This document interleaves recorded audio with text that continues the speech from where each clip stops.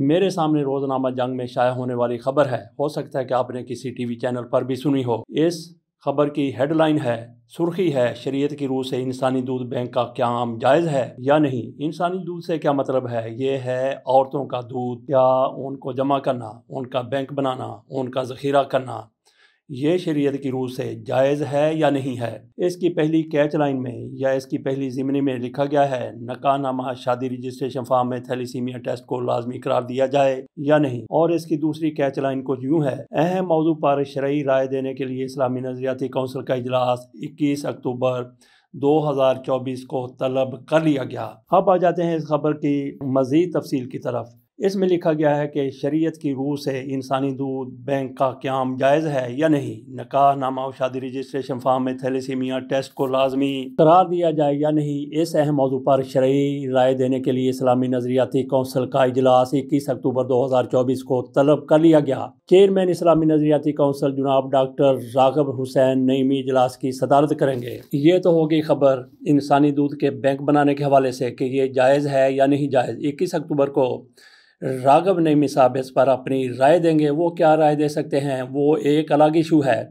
اب یہاں پہ آ جاتے ہیں۔ ایک پہلے بھی خبر شائع ہو چکی ہے۔ اس خبر میں بتایا گیا ہے کہ سندھ حکومت کی طرف سے باقاعدہ ایسا بینک بنا دیا گیا تھا۔ علماء اکرام کی طرف سے اس پر فتویٰ بھی جاری کر دیا گیا تھا، لیکن بعد میں یہ فتویٰ واپس لے لیا گیا۔ نظر ثانی کر لی گئی اپنے فتوے پر اور جن لوگوں کی طرف سے اپلیکیشن دی گئی تھی، جن لوگوں کی طرف سے فتویٰ مانگا گیا تھا، رائے مانگی گئی تھی، ان کی طرف سے اس پر تھوڑا سا احتجاج بھی ہلکے پھلکے انداز میں کیا گیا ہے کہ آخر کار کیا ہوا کہ پہلے اجازت دے دی گئی اور اس کے بعد نظر ثانی کر لی گئی اس فتوے پر۔ آپ کے سامنے اس کی مکمل تفصیل رکھتے ہیں۔ یہ خبر ہے، نقطہ نظر ہے، رائے ہے یا جو کچھ بھی ہے۔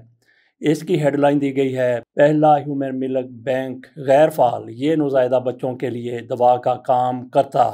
فائزہ جہاں کی طرف سے یہ نقطہ نظر بیان کیا گیا ہے۔ پاکستان کے پہلے ہیومن ملک انسانی دودھ بینک کے اقدام کی معطلی کے بعد متعدد طبی ماہرین اور مجھ جیسے ماہرین اطفال نے مایوسی کا اظہار کیا ہے۔ گویا یہ خاتون فائزہ جہاں صاحبہ یہ ماہر اطفال ہیں۔ انہوں نے اپنے اس آرٹیکل میں لکھا ہے کہ ہمارے کمزور بچوں کو بنیادی غذائیت فراہم کرنے کے منصوبے ہیومین ملک بینک کو مکمل طور پر فعال ہونے سے پہلے ہی معطل کر دیا گیا۔ انسانی دودھ کے بینک کی اہمیت۔ یہ کس طرح کے بچوں کے لیے مددگار ثابت ہوگا؟ اور اسلامی اصولوں کی تعمیل کو یقینی بنانے کے لیے مستعدی اور یقین دہانیوں کو سمجھنا انتہائی ضروری ہے۔ ڈان میں دی گئی اس رائے کے مطابق مزید کہا گیا ہے کہ دنیا بھر میں انسانی دودھ کے بینک نوزائیدہ بچوں کو غذائیت فراہم کرنے میں اہم کردار ادا کرتے ہیں۔ جن کی پیدائش یا تو قبل از وقت ہوتی ہے، یا غیر متوازی نظام انہضام کی وجہ سے وہ فارمولہ دودھ نہیں پی سکتے۔ انسانی دودھ کے برعکس فارمولہ دودھ میں اینٹی باڈیز نشو و نما کے عوامل اور بائیو ایکٹیو مالیکیول نہیں ہوتے جو بچے کی آنتوں کو سوزش اور انفیکشن سے بچانے میں مدد کرتے ہیں۔ مثال کے طور پر، بہت چھوٹے بچے جو قبل از وقت پیدائش کی وجہ سے بچوں کے نگہداشت وارڈ میں ہوتے ہیں، انہیں مضر بیکٹیریا سے محفوظ رکھنے کے لیے مذکولہ بالا غذائی اجزاء ضروری ہیں۔ بصورت دیگر یہ بیکٹیریا بچوں کی نازک آنتوں کو نقصان پہنچا سکتے ہیں یا ان کے جسم میں ضروری غذائیت جذب کرنے میں رکاوٹ بن سکتے ہیں۔ نتیجہ تن اس سے پیدا ہونے والی جان لیوا حالت کو نیکروٹائزنگ اینٹروکولائٹس این ای سی کہتے ہیں۔ پاؤڈر نما فارمولا ملک جو کہ گائے کے دودھ سے بنتا ہے، اس میں مختلف اقسام کے فیٹس اور پروٹین ہوتے ہیں جو کہ نظام انہضام میں جذب نہیں ہوتے اور بچے کے پیٹ پر دباؤ بڑھ جاتا ہے، جس سے بعد میں بچے کی صحت کو مزید نقصان پہنچتا ہے۔ اس کے علاوہ فارمولا دودھ انسانی دودھ سے زیادہ گاڑھا ہوتا ہے تو قبل از وقت پیدا ہونے والے بچوں میں اس کا استعمال کرنے سے آندوں سے رساؤ اور ضرورت سے زیادہ پانی جذب ہو سکتا ہے، جو نقصان کا باعث بن سکتا ہے۔ علاوہ عظیم فارمولا دودھ میں انسانی دودھ میں پائے جانے والے اور گروساکرائڈ جیسے ضروری کیمیکلز بھی موجود نہیں ہوتے، جو کہ آنتوں میں ایک بائیو فلم مائکرو آرگنزم کا جال بناتے ہیں جو بچے کو انفیکشن سے بچاتا ہے۔ ان وجوہات کی بنا پر ماں کا دودھ قبل از وقت پیدا ہونے والے اور شدید بیمار بچوں بالخصوص جنہیں این ای سی کا خطرہ ہوتا ہے، ان بچوں کو غذائیت فراہم کرنے کا بہترین آپشن ہے۔ جب ان بچوں کو ماں کا دودھ دستیاب نہیں ہوتا تو انسانی دودھ کے بینک کی تجویز دی جاتی ہے کہ جہاں عطیہ دہندگان سہولت فراہم کرتے ہیں، کیونکہ یہ کمزور نوزائدہ بچوں کو ضروری غذائیت اور تحفظ فراہم کرنے کا دوسرا بہترین ذریعہ ہے۔ ان بچوں کے لیے انسانی دودھ خوراک سے زیادہ دوائی کا کام کرتا ہے۔ عالمی ادارہ سے سختی سے تجویز کرتا ہے کہ ابتدائی چھ ماہ میں بچوں کو ماں کا دودھ پلایا جائے، لیکن یہ ہر وقت ممکن نہیں ہو پاتا۔ بالخصوص جب ماں نو ماہ مکمل ہونے سے قبل بچہ پیدا کرے۔ پاکستان میں قبل از وقت پیدائش کی شرح دنیا میں سب سے زیادہ ہے۔ ایسے میں ان بچوں کے لیے تحفظ کا متبادل ذریعہ فراہم کرنا انتہائی ضروری ہے۔ جن کی مائیں انہیں دودھ نہیں پلا سکتی سندھ حکومت کی تجویز پر نوزائدہ اور قبل از وقت پیدا ہونے والے بچوں کے تحفظ پر توجہ مرکوز کرتے ہوئے انسانی دودھ بینک کی صورت میں ایک دامت پسندانہ حکمت عملی اختیار کی جانی تھی۔ کہ جس میں شریعت کی تعمیل کو یقینی بنانے کی یقین دہانیاں بھی شامل تھیں۔ یہ خدمت بغیر کسی معاوضے یا رقم کے فراہم کی جاتی، جبکہ اس بات کو یقینی بھی بنایا جاتا کہ مسلمان بچے کو صرف ایک مسلمان ماں کا دودھ ہی فراہم کیا جائے اور یہ دودھ صرف چونتیس ہفتوں سے کم عمر کے بچوں کو دیا جائے کہ جن کی مائیں اتنا دودھ نہیں بنا سکتی کہ اپنے بچوں کی غذائی ضرورت کو پورا کر سکیں۔ یہ ہیومن ملک بینک یعنی کہ عورتوں کا دودھ کا بینک ذخیرہ کرنے والی جگہ سہولت سے مستفید ہونے والوں کو اسلام میں رضائی رشتوں کی اہمیت کے حوالے سے علم فراہم کرتا اور پروٹوکول کی پیروی کرتے ہوئے عطیہ، دہندگان اور وصول کنندگان دونوں کی شناخت اور نصب کا ریکارڈ محفوظ رکھتا۔ یوں اس طرح دودھ عطیہ کرنے والی ماں سے متعلق خدشات دور بھی ہو جاتے اور حفاظتی تدابیر بھی لے لی جاتی یہ منصوبہ مذہبی اسکالرز کی شمولیت اور ان کی نگرانی میں تیار کیا گیا تھا۔ اس بات کو یقینی بناتے ہوئے کہ تمام عوامل اسلامی تعلیمات کے مطابق ہوں۔